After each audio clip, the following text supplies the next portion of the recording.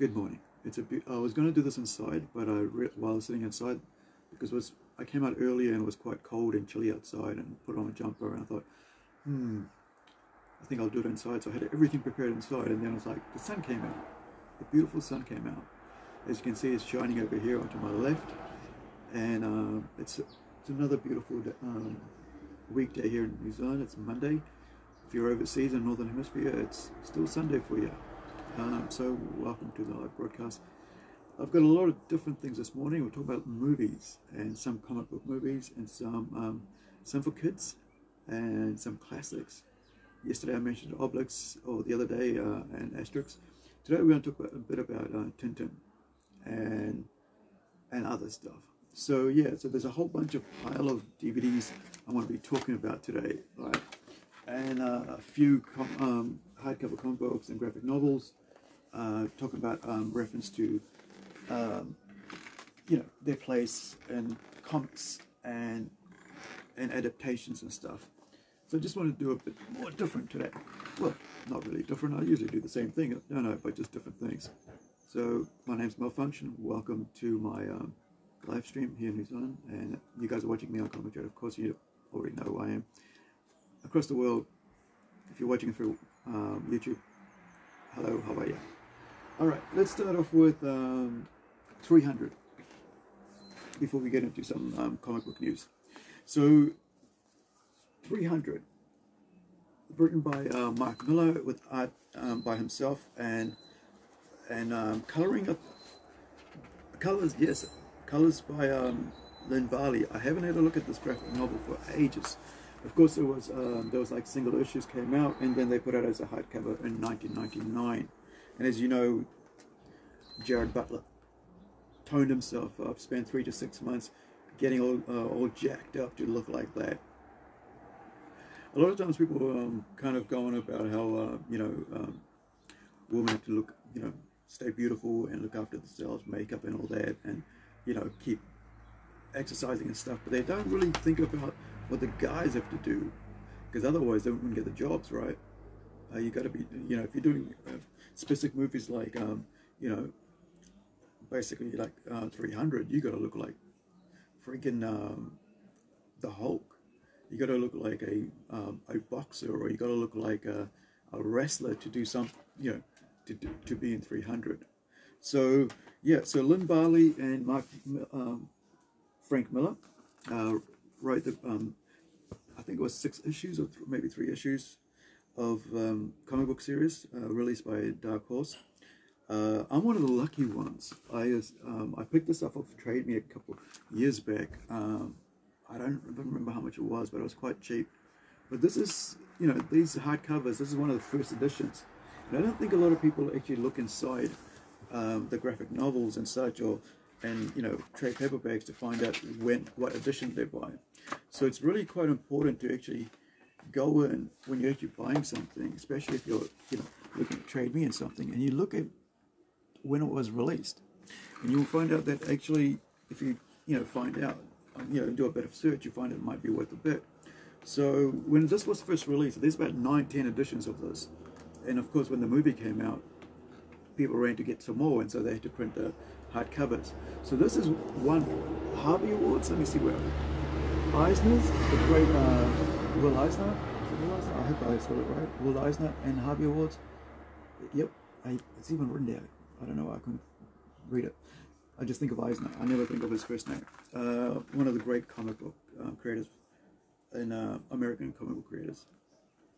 Um, so he was married to Lynn Varley, his um, wife at the time, of course, married, and they separated.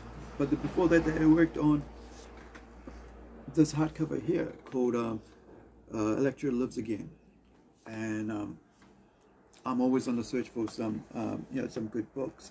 And this is way before I could actually, you know, uh, when I, this is when I could afford some stuff, and I was able to buy this. It's a bit faded and yellowed, All right, As you can see, um, hopefully you can see that. It's uh, I should just hold it over here, yellowed and uh, had a few markings on it because it's it's quite an old book. Um, the art style, as you can see, is classic Miller. Uh, Frank Miller has a really unique art style, like um, what's his name? Mike Mignola.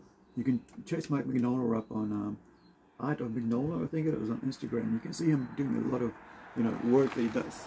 Of course, from Hellboy, right? Uh, and he's got his unique style as well. So you can always recognize these two guys' art styles.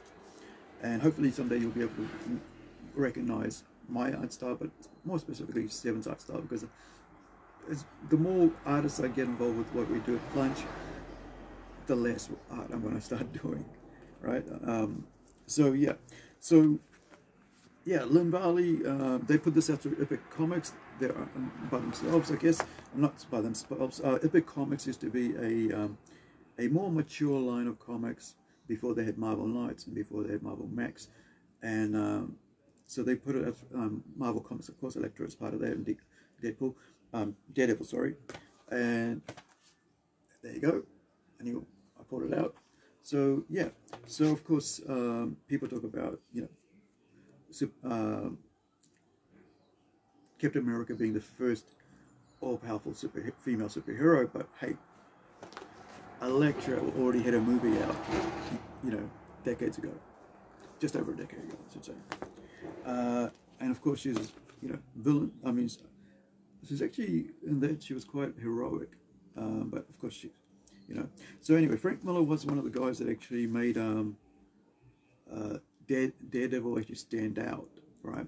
Because Daredevil at that point, I think it was in late 80s uh, or mid 80s, early 80s, was really not doing so well as a uh, the writers, whatever they weren't really doing good stories, and he created Elektra, and so Elektra became a um, amazing um, storyline, and he basically, if you haven't read it, hopefully you already it's been years, so you probably have read it. I mean, not read it, but you know the story. She dies, as of course, if you've watched Dead um, Daredevil series on Netflix, uh, yeah, that story's in there as well. So you, you, you, there's no excuse that you haven't watched, um, that you don't know about that. So apologize if you have haven't. So yeah, so check this book out. It's really cool. Um, I think you can get it in digital. Uh, if you're able to get it from the library, it's worthwhile getting out. So, like I said, it's got some amazing, amazing artwork. It's just, I love art. I love Frank Miller's art. I have his three, um, his Sin City uh, comics, individual comics, as well as uh, one of the, I think it's the Hard Goodbye, and I'll talk about that some other time. All right, so that's Frank Miller, uh, 300. Right, and yeah, as I forgot to say, so I bought this for maybe about 30, 40, 30 bucks maybe. And that's the US price at the time when it was released way back in 99, right? The value of this, I just checked just to make sure that I knew what the value was at. In this condition, 135 US. It's gone up 100 bucks over, I guess, 20 years. No, yeah, 20 years, 21 odd years. Um, that's because um, I guess it came and went, but you know, um, and also not because it's um, of that, but because the individual copies are worth more. They're kind of worth like about thirty dollars each, 30 40 dollars each. But yeah, but the hardcover itself is actually, you know, worth quite a bit of money if you ever get it. Um, the other thing, um, I didn't check um, this one. This one I think actually just came out as a hardcover, so I don't know what the deal with this was. I didn't look into that too much. I think I actually might have mentioned it sometime. Right, uh, let's move on to some kid stuff. Alright, kids. I grew up Hergé's um, Tintin at Moerewa Primary School. I spent, I found it, it, was really easy to read. Of course, you guys know who Tintin is. Uh, and if you don't, it's worth checking out because of course Owen Peter Jackson made the live action, no, not live action, the CGI um, animated series uh, movie, right? Uh, I kind of keep. I don't think I've got that, but what I did find um, a couple weeks ago, months ago, maybe last year, was the animated series, the um, the movies. Um, yeah, so this is like about each one of these have about I think they're about half an hour, twenty minute shows, and they each one of these have one, two, three,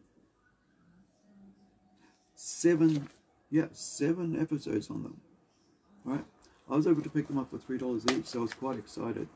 Uh, and I was quite yeah because it's it reminds me of my childhood, and it's uh, and it's something that helped me learn how to read, how to appreciate art, and really it's this way I always um, emphasize about getting kids into uh, comic books because you know sometimes it's easier to read comic books than it is to read books, and because it's just words and words and words. But if you have, yeah, hey Alex, yeah, uh, Alex says I loved Tintin as a kid, yeah, and I think you know there's so many of them. Hergé just did, you know, look at look at the amount of books he put out, you know. You can get collected ones now as well. So, you know, some of them like Explorers on the Moon, like just came to my mind straight away. You know, some of them are just so amazing, and I think it's. Uh, yeah, it's really, really worthwhile getting the, your kids, if you have children, or if you have nephews, and nieces, like I do, if you, you know, they're having trouble reading, or, you know, hand them one of these books, because they, they're quite colorful, right? That's the thing, it's quite colorful, and it's not so hard to read, because, you know, he's not trying to, he's not trying to make it difficult for children to read, he's make trying to make it enjoyable for children to read, and also, it's adventures and that's the thing about this, the adventures of Tintin, right? Kids, when you, you want to go uh, hunting for snails or whatever, or, you know, looking for flowers, you know, digging, you know, trying to dig in the dirt to find some precious stones. Yeah, uh, Alex says Prisoners of the Sun was my favorite. And that would be, let me just bring it up. It should be on the back here somewhere if I can. Uh, Yep, that one right there. Where are we? If you can see that, Prisoners of the Sun. Yeah. So yeah, so this was. There, they say that there's um, Tintin three and one adventures in seven volumes available as well. The making of Tintin four volumes, and man, there's just so many. Uh, there's about 22. Right, the guy did 22 of these, and there's about 64, 62 pages. Now, in, in Europe, they don't release them as single issue comic books, or floppies as we call them here. They usually release them like about 45 pages or uh, 60 pages or 100 pages of albums. They call them albums. And um, so it's basically graphic novels, right? And so it's really cool, and it's hardcover, it's firm, so kids don't have to worry about it getting ripped or you know or getting dirty because you can just wipe the dirt off you know, or getting, you know, um, cr uh, crumbs on it, or worried about getting jam while they're eating, or butter, whatever, or sandwiches on it, you can just wipe it off, and hey, it's going to stay with them for a long time. And of course, you know, like Alex said, he still remembers them, loved him as a kid, right? Same as me, man. Um, you know, that's why I still have them. I still make sure, if I see them, I'll get them. Okay, so let's talk about some um, sci-fi, um, some old, old movies to watch right now. When you've got nothing else to watch, you know, you're thinking, oh, what shall we do? And one of them is, I'm sorry that the, I didn't have time to get this off. I was just sitting, on, you know, I used to bring them home and just put it away. This is, um, let me get this cover out if I can get it out so you can see it properly. Oh, this is Legend one of the very early fantasy uh, movies I saw. Uh, it's really it's um, by Ridley Scott, and uh, it's just a amazing, amazing tale. Talking about adventures and stuff, and um, Legend. You know, I was I didn't actually um, scout this out. Um, Jason did. So yeah, I saw this. My goodness, got to have this. So Legend's got um, Tom Selleck, one of his earliest roles as you can see. And uh, and who's the other person in here? Let me just check, make sure I've got ready. Tim Curry and Mia Sara and Arnon Mitchell. Um, it's just it's such a great, great. It's a, it's it's something you can watch with the kids, right? It's just such a great adventure. Like I was talking about Tintin being adventures. This is a great, um, you know, great movie to watch with the kids. Legend, all right? So that's how it's spelled, just, just in case you think it's spelled some other way, legend. sorry, it's backwards. But um, this Ultimate Collection that we were able to uh, scout out came with this little um, little booklet of just some um, artwork, uh, some photos of the characters, um, bit of a background, and just, you know, just, yeah. It's just uh, and a message from Ridley Scott, right? And uh, yeah, it's just cool. DVDs are really cool because um, having something there, you're not going to worry about. Uh, you know, you can stream it. Yeah, sure, you can stream it. But what if Netflix goes down? You pull out the DVDs. Okay. The other one, the other one, another favorite from my childhood, Labyrinth, with David Bowie and Jennifer Connelly. Gotta make sure I remember that. It is Jennifer. It is Jennifer Connelly. It's been a while. So yeah, David Bowie and Jennifer Connelly, one of his most iconic roles. Um, you know, you think, you know, if you don't, if you're not as old as me, and you think, oh, that, all, that, all I know about David Bowie is, uh, like uh, Spiders from Mars. No, no, it's not Spiders from Mars. I think it's, well, something about Mars, I can't remember. Uh, Major Tom, Major Tom, sorry. So, yeah, we were able to get a deluxe edition, um, two disc set, and, you know, it's, it's Jim Henson's. And if you remember Jim, um, recently on um, Netflix, they had um, the Dark, Jim Henson's The Dark Crystal. So if you watched, um, there's a, you know, it was based on another movie, of course, and this is the second part of that movie years later. I haven't seen it. I should get around to seeing it, but I've just been busy. Because movies like, um, TV shows like that with um, Dark Crystal, I just want to be watching it. I can't be, because I, I multitask, so I can't be, um, oh, I think I've seen that.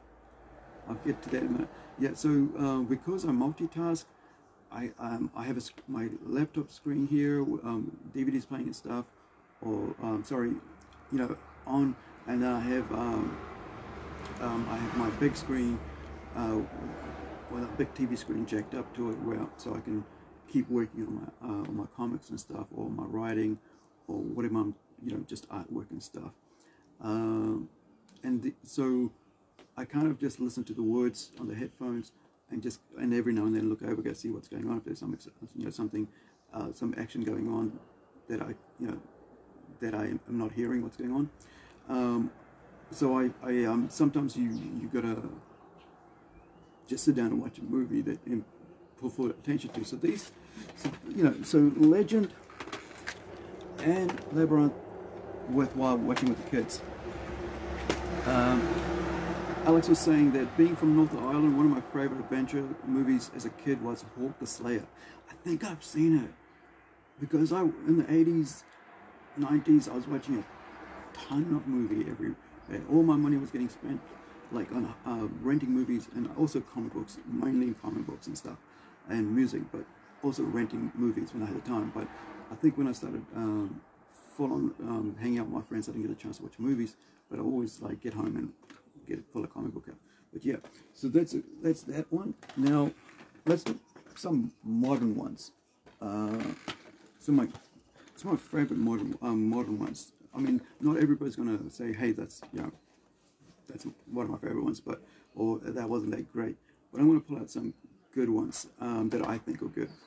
Uh, for the with the kids still, let's stick with the kids for a minute. Real Steel. All right.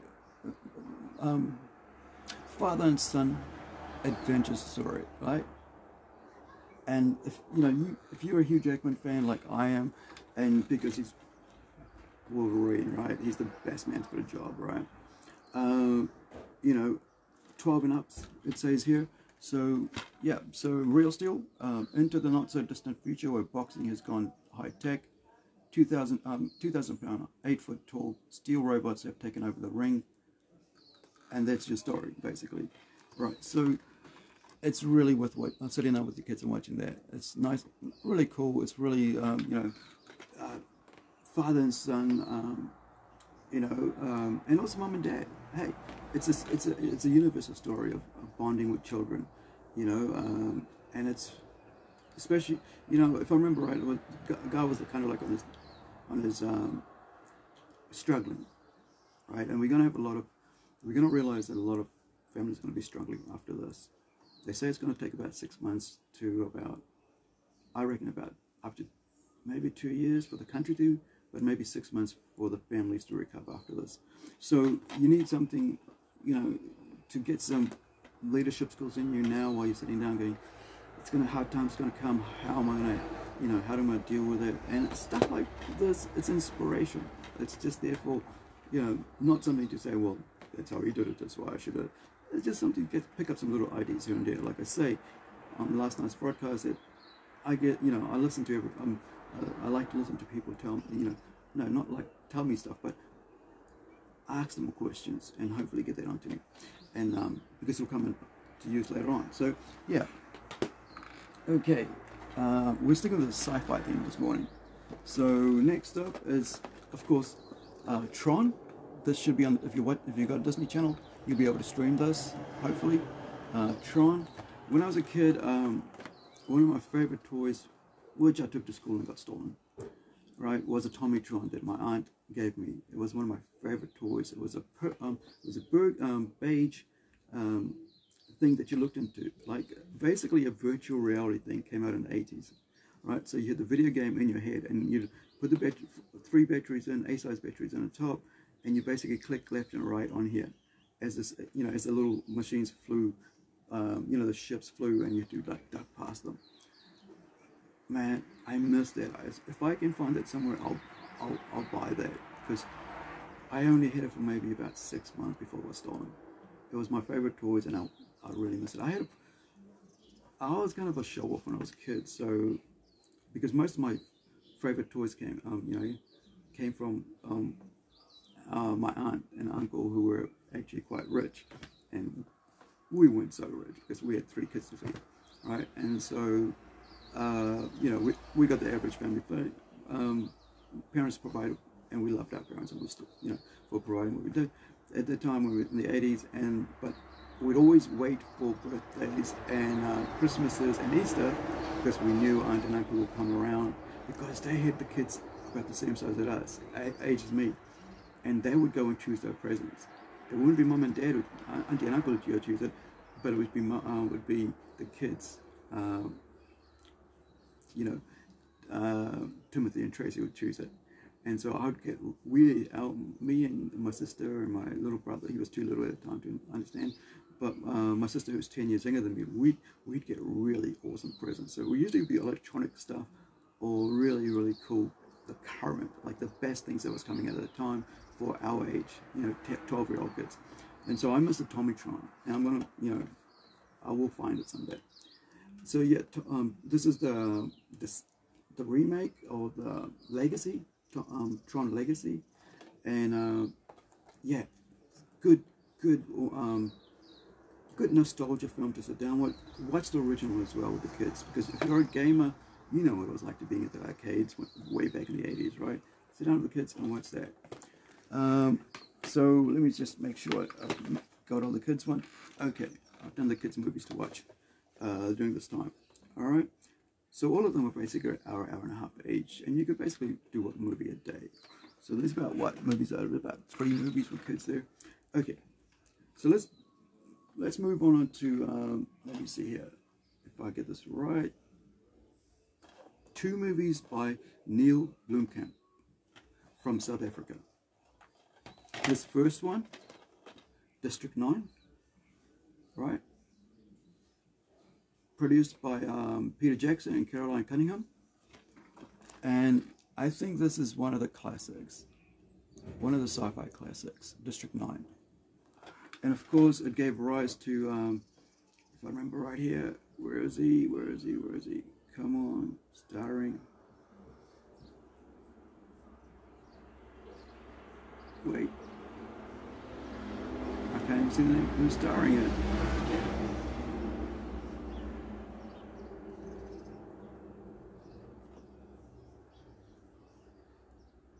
Wow. Okay. This is weird. It just says um, presented by Neil Blue, um, by um, Peter Jackson. I'm trying to really hard trying to find out who stars in this. I know who stars in this. Uh, Shelter. Uh, I think it's Shelter Sharlto Copley. Man, I should have grabbed the Powers hardcover that I had. As you know, he was in Powers uh, as the cop, uh, former superpowered cop, um, written by um, Brian Michael Bendis and artwork by uh, Michael Avon Oeming. Um, and hopefully that's on streaming for you guys. I haven't checked myself, but Powers, I really like Powers. I thought it was really doing, it was really, really good before Netflix took over and did their own thing. But I think Powers was a really good show. Really, um, yeah, really awesome series.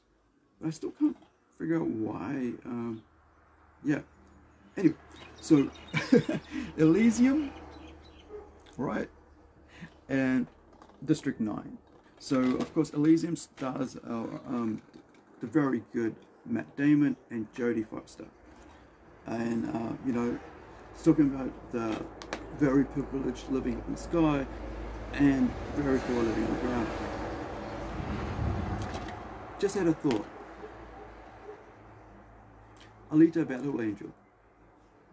If you've seen this, and if you've seen Alita Battle Angel, then you know that is very much this storyline. But of course, it's not the only one, right? It's just a genre, right? So there's many stories like that. But yeah, really, really cool. Both of them are really good classic movies to watch right now, or anytime, really. But hey, okay, I'm a huge fan of um, Kate Beckinsale. I'm some, yeah, total love her. I think she's amazing, and and she's great in Underworld. If you've seen Underworld, then you know then you know uh, Kate Beckinsale, just amazing. And if I, I'm not sure if she was in, you guys probably be able to tell me if you can comment if she was in uh, the Umbrella uh, Foundation, uh, Resident Evil. Was she in Resident Evil? I can't remember off the top of my head. Um, but yeah, so um, yeah, she's amazing in Underworld, and she and while we're talking about Kate Beckinsale, she was in a movie made in New Zealand called um, Whiteout, uh, written by Greg Rucka, who's a comic book writer, and the book um, Whiteout uh, is his comic book, which is based on his comic book, uh, Whiteout, the movie. So check that out if you ever do as well. So that's Kate Beckinsale. So Colin Farrell, loved him as Bullseye, um, and um, and also uh, I think I was in was he in Bullseye and um, was it a Tom Jane Punisher or was it the what's the the other one War Journal? I can't remember, but I've got them both. But I can't remember which one was it. So yeah, this is um, Total Recall, and uh, it's the kind of like the remake version of the Arnie movie, uh, based on, um, if I remember right, Philip K. Dick. Where are we? I think it's um, the, short story it's based on is We Can Remember For You Wholesale. And Philip K. Dick, as um, I've probably already mentioned, is one of my favorite sci-fi writers. Okay, so you can watch the Arnie one and then come and watch this one, right? So you got that. Okay. And let me just say who's check who's this directed by. Len Wiseman, classic director. Okay. Can't choose which ones to talk about now first. Okay. Gracie, uh, brown, brown, brown suits, brown. I can't remember. Anyway, um,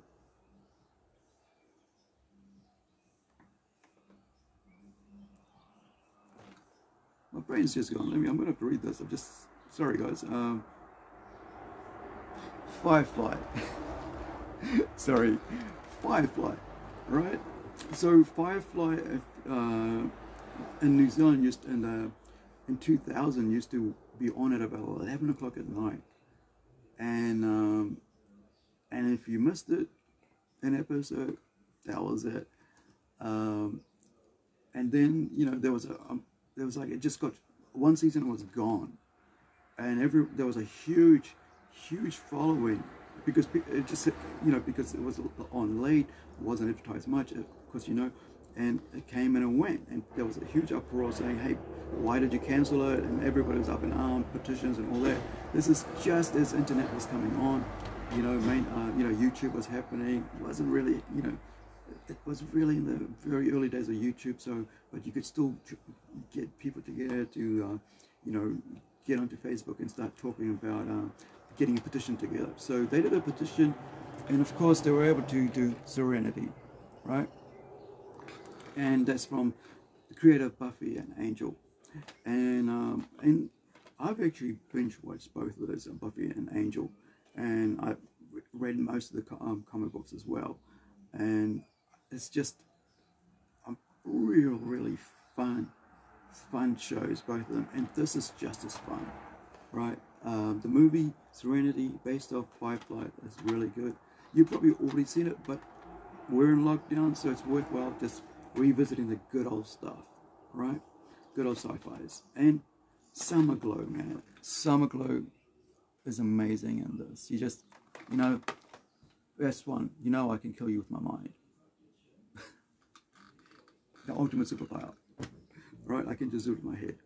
And um, yeah, I just thought maybe that's why um, Zap, I've got Zap and uh, right now, if you're reading um, uh, maybe that's where my recall is with what Zap might have, you know, because think about why Zap is able to do what he's able to do with mind, maybe that's why I just sort of created a character Zap. Uh, his power has to do with his, with his brain uh, and what he can do with his brain. It's not kind of like Professor X or anything like that. Uh, but um, it's slightly different. And um, yeah, so if you're reading, you know, if you're reading Critical, go check it out. Um, if you're following, okay. Last and not least, if I remember right, yep. Last and not least, for for something a slightly bit different, Donnie Darko. If you haven't seen Donnie Darko and you're into genre films, what are you doing? get over it and watch it. Find, you know, get get around and get it and watch it. Amazing.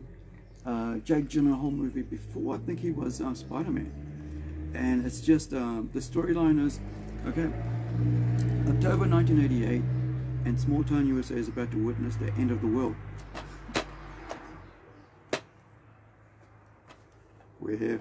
Didn't, I didn't even think about this because it's been like I've watched it maybe 2005, 2004. So I didn't even think it. Milla Jovovich. Thank you, um, Alex. I forgot to see the bottom there. Thank you. Milla Jovovich and Resident Evil. And isn't Milla awesome? I mean, there's a whole trial of sci-fi movies that Milla's been on. Ultraviolet, check that out. I remember right, Milla's on that. Check that out. Of course, um, Fifth Element, brilliant uh, with Bruce Willis, if I remember right. But Ultraviolet is about vampires. One of the older movies. Cheers, Alex. Thanks for helping me out, man. Uh, you have a great day, and you stay safe too, bud. Um, yeah, so, okay, so October 1988, and small town USA is about to witness the end of the world. It's home to Donnie Darko, a brilliant but troubled teenager, uh, plagued by terrifying visions which he alone knows the meaning of. With his classmate and soulmate Gretchen, and a mysterious ex-teacher nicknamed Grandpa Death, he must unravel the strange occurrences affecting his school, his home, and his life before a horrifying spectre, known only as Frank, leads Donnie to the edge of his sanity. This is a really, really, really fantastic, fantastic uh, uh, movie to watch. And Patrick Swayze, Drew Barrymore, Jake Gyllenhaal, Katharine Ross, Mary McDonald, McDonald, McDonald, yeah, Mary McDonnell. So yeah, that's me for today, guys. Uh,